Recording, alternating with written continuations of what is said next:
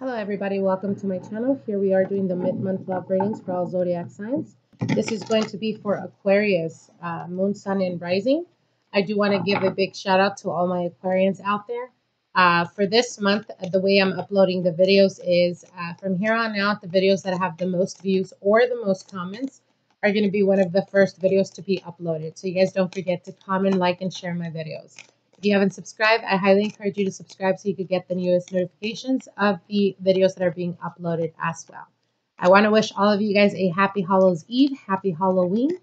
Uh, I hope you guys enjoy this um, season and also remember just to be safe out there, okay? So let's get into your reading. If you guys are interested in private consultations, also look at the description box below and we'll be able to, you'll be able to find my contact information on there, okay?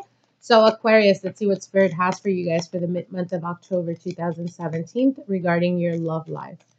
Spirit, what are the messages for Aquarius for the mid-month of October 2017 regarding their love life? So I'm going to be pulling out cards for you, Aquarius, and then I'm going to be pulling out cards in reference to your partner or the person that you're dealing with at the present time or the person that you're interested or in a relationship with, okay? So I'm going to start pulling out cards as the cards are already popping out for you guys. All right, for your cards, you have the Eight of Wands, the Six of Swords, the Two of Cups, and the Justice card. Your partner's cards is the King of Wands, sorry, the King of Swords, the Ace of Pentacles, the Empress, and the Wheel of Fortune. Wow, Aquarius.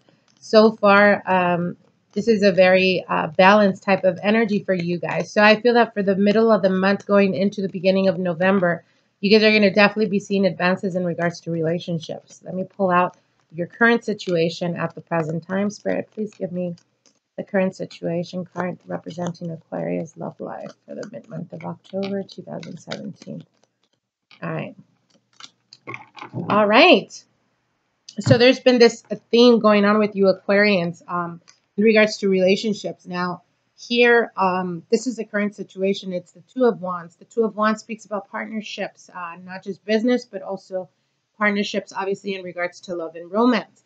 So perhaps you guys are finally being able to either make up your decision about a person that you're dealing with or actually growing some growing some balls basically and being able to decide to move forward, jump in and jump in wholeheartedly. Okay, so this is definitely the energy that the Two of Wands is definitely giving to me. So for your cards, um, Aquarius, you have the Eight of Wands. Okay, give me one second. All right, so you have this, uh, the Eight of Wands and the uh, Six of Swords. So what this is symbolizing at the present time, the Eight of Wands is quick communication coming back and forth, but also it's speaking about the arrows of love. So for some of you guys, you guys are currently dealing with the person, uh, could be a Libra, or it could be that of a water sign as well. So water sign would be um, a Cancer, Scorpio, or a Pisces, or again, like I said, a Libra. Um, and this is how you're viewing your partner. So you're definitely getting momentum and moving forward. Um, either, again, like I said, plunging in completely, uh, not hesitating about um, jumping into a relationship or making a commitment to them. Uh, the Six of Swords is here definitely telling you you are walking towards calmer waters. Uh, perhaps there was a feeling of uncertainty in regards to the partnership that you're in or that you've been dealing with. Uh, but when the Six of Swords comes out, it's definitely talking about the anger, uh, the frustrations, the discord, um, miscommunication is definitely uh, being released, and you're being able to move forward to more calmer, more uh, serenity uh, more than anything. So there's a feeling of protection here uh, for some of you guys. So for some of you Aquarians that have been debating whether you guys want to get in a relationship or not, um, with the Eight of Wands and the Six of Swords, uh, you're finally coming to the conclusion that you do feel safe with this person. You do feel like they want the best um, to the higher of your interest. And again, uh, being not vulnerable, but being able to open up to this person and completely connect with them on a deeper level.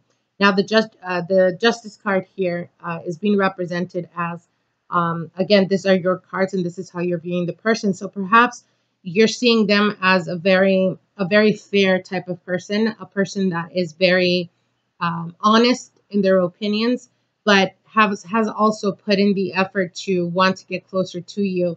And at this point, uh, it's the perfect timing. As again, like I said, uh, going into the beginning of November, I definitely see you guys opening up more and being able to uh, really decide um, that you guys are definitely moving forward in this relationship. Okay.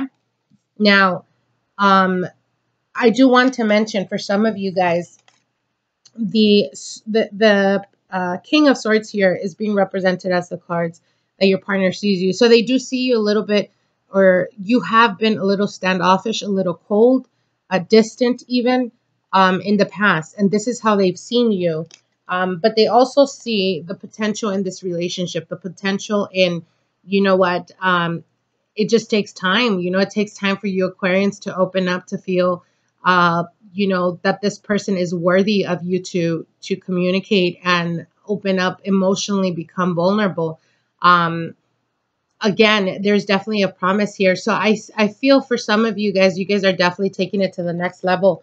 Um, or it could be, you know, I remember last, uh, the beginning of this month's reading for you guys, a lot of you guys were debating uh, whether you wanted to push forward in this relationship or not. And I definitely do see that happening with the Ace of Pentacles here um, and the Justice card. So I feel that for some of you guys, you may be dealing with karmatic type of energies as well, because you do have the Two of Cups and the Justice card. So those two cards together speak about karmatic cycles or people that come into your life to teach you a lesson.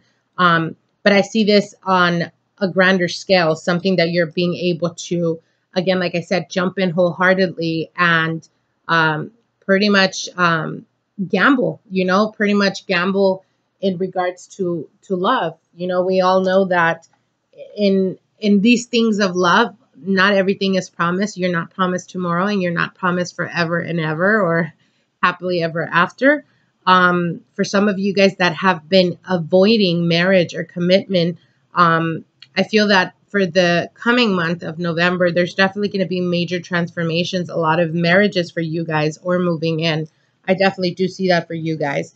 Now, how your partner is viewing the situation is the Empress card. The Empress talks about abundance. It can also speak about uh, pregnancy. So for some of you guys, you guys are finding out that your partner is actually pregnant. Um, or you will be finding this out probably by the end, uh, sorry, the beginning of November, uh, they bring this news to you. And it's almost as a whirlwind type of um, situation where you were already um, emotionally available to open up to your partner. But um, at this point, um, with the wheel of the year here, it's a definite ending of cycle for you. Um, for a lot of you guys that have been single for quite a, a while, uh, the Wheel of Fortune here with the Justice card crowning it is definitely talking about the ending cycle of your singlehood. So for some of you guys that are currently single or have been single for quite a while, um, you guys probably left a fire sign behind. A fire sign would be a Leo, Aries, or Sagittarius. You're moving forward. Um, and again, like I said, by the beginning of November, I definitely do see a connection here. You guys may connect with a Libra or a water sign, again, like I said and the way they perceive you is there's something they see you very um, calm not very open in regard. It's very hard for you to get for them to read you but they definitely do see promise and they definitely are interested in you. And again that offer that love offer is definitely coming through for you guys for the first or second week of november now the empress here is being represented as the beginning stages with the two of cups the beginning stages of a connection or a relationship something that's going to be very fruitful, not just for you, but for your partner as well. And again, the justice next to the two of cups, this is a karmatic type of energy, a soulmate type of energy coming in for you guys, okay? So I hope this resonated with you guys. Like, share, and comment my videos. If you haven't subscribed, subscribe to my channel. Don't forget to comment um, or view the, the videos. Again, like I said, for next uh, next month's readings, I will be uploading uh, the videos with the most views or the most comments, okay? So I wish you guys the very best. Again, like I said, happy Hallows Eve, and we will see each other the beginning of November.